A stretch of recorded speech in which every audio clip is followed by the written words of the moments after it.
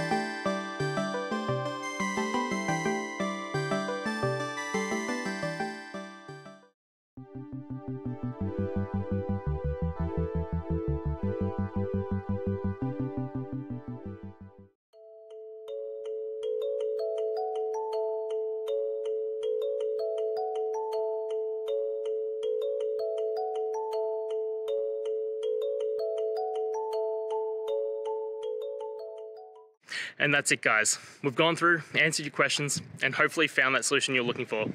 If we did, please hit subscribe. I'd really appreciate it. And until next time, I hope you have a good one.